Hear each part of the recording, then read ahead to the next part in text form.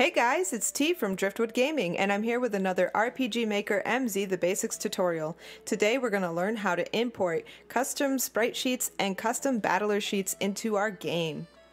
So let's just get started. The first thing that we're going to do is take a look at some of the common mistakes and pitfalls that happen when people attempt to do this. I've put together a few files and we're going to go ahead and use them and take a look at what happens when we don't quite do things right. So I want to put a gate on this wall. Oh no! I can't pick the gate! This box is too tiny. It's just not gonna, uh, okay, we'll go with that. And let's see, maybe we have another gate file that'll work better.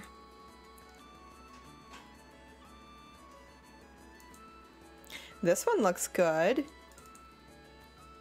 I want just one more gate on this wall.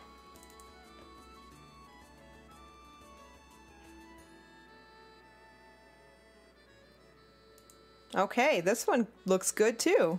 Let's do this one. I'm also going to add a couple doors.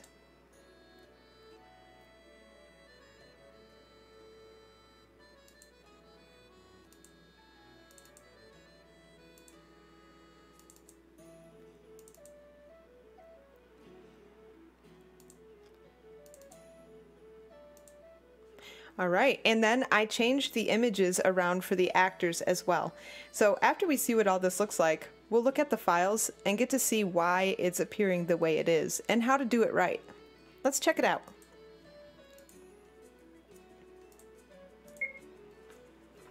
Whoa, look at this. This is awesome. Look at my guy down here. That's great. Beautiful.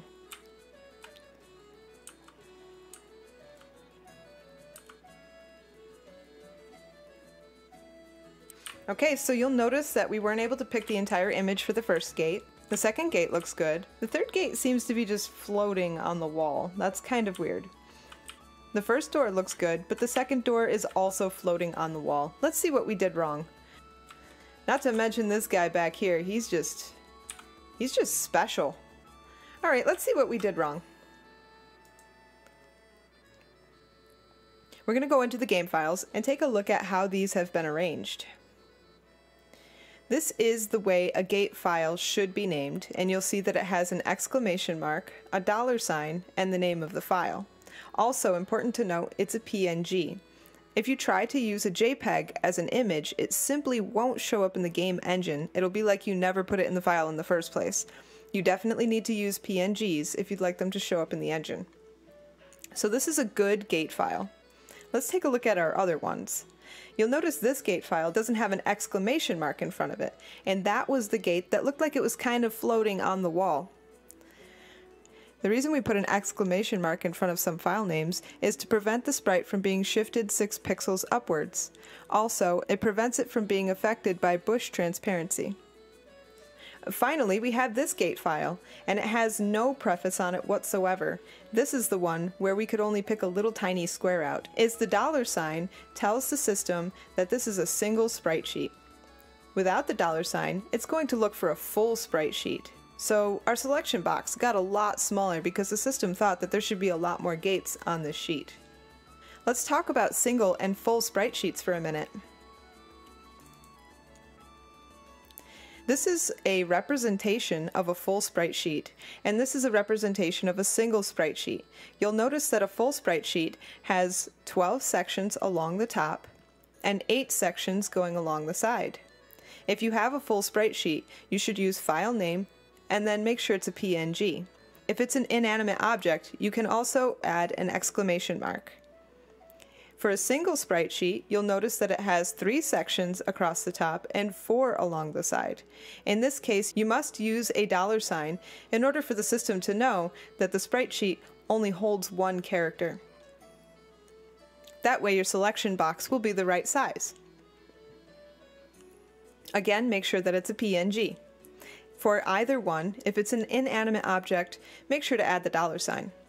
So the thing about these sprite sheets is they don't have to be exactly 48 by 48. The default is 48 by 48, and the size of a default sprite sheet is 576 pixels by 384 pixels. the size for a default single sprite sheet is 144 pixels by 192 pixels. However, if you would like to increase the size of any of these sprite sheets that you would use, either for characters, for doors, for lamps, whatever it is that you want to use in your game, you can make them any size you want. In order to do that, determine the size that you need to fit your character in one single section. And then make sure all these sections are the same size. Each square or section of the sprite sheet has to be the same size. So you can make it very big or you can make it very small. Just make sure each sprite section is the same size. The same goes for a single sheet. A simple example of this would be if I want my sprites to be 100 pixels wide, I would make my sprite sheet 300 pixels wide. If I wanted my sprites to be 100 by 100, my sprite sheet would be 300 by 400. You take the size of each sprite section and multiply it by the number of sprites that are on the sheet in each direction. Let's take a look at the character sprite sheets that I did wrong. Here's the actor where you can only see a corner of her head, and that is because I didn't specify that this is a single sprite sheet. So again, the system is looking for a full sprite sheet and gives me a very small selection box. This is how it looks if it's done correctly. And then finally, the character that we had following our party around that was all kinds of messed up, it was because there's this transparent section that's on the outside and underneath our sprite section. So what this did was it gave this sprite section about this much room, it gave this sprite section about this much room, but this final sprite gets this much room. They're definitely not even, so it won't work unless each sprite section is the same size. Let's move on. Now we're going to talk about how to bring custom battlers into your game.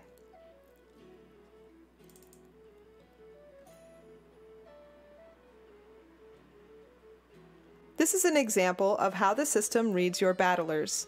The idea is very much the same as the sprite sheets. You can make any one of these sections, or your sprites, any size that you want, but each one has to be the same size. So if I change this from 64 by 64 to, say, 80 by 80, every single one of these has to be 80 by 80, or it won't work correctly. There are nine sprites across the top, and six sprites along the side. Now the way the system reads this is each one of these is an animation that it'll play with three frames. And those animations are based on the skills or the state that your player is in during battle. For instance, the idle animation will play while your character's just standing there in between rounds if it's not waiting to cast something or damaged or one of the other states that's on the sheet. Ready physical will happen when your character's ready to take their turn. They've already gotten their command and they're ready to take their turn. Ready magical is the same thing, but instead of for a physical attack, the magical is where they're ready to do something magical on their turn. And then you have guard. Damage, now this plays when your character actually takes damage. This plays when an enemy misses your character. Stabbing is an attack animation, as well as swinging, shooting, using physical skill, using magical skill, and then there's also use item.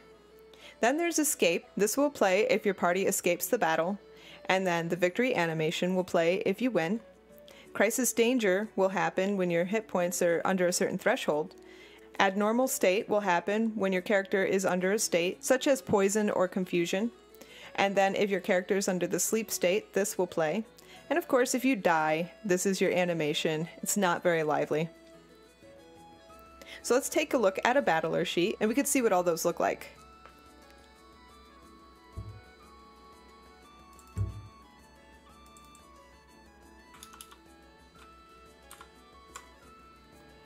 Okay, we can see Reid here doing his poses and you can kind of visualize what he'll do during the battle and how each one of these three Sprite sets will play the animation throughout your battle. Another thing to note is that the default Battler sprite sheet is 567 pixels by 384 pixels. Okay, awesome. Now we know how to avoid making mistakes like this in our game, and if we do, we'll know why. We'll be able to go back and fix it. Alright, I hope you guys enjoyed this tutorial. I hope you learned something new, and you can take that knowledge to bring all kinds of awesome custom art into your games, or, you know, just know it. As always, if you have any questions, feel free to ask in the comments below or join our Discord. If you like this video, definitely give it a thumbs up, subscribe to the channel, hit that notification bell, and I'll see you guys next time. Bye!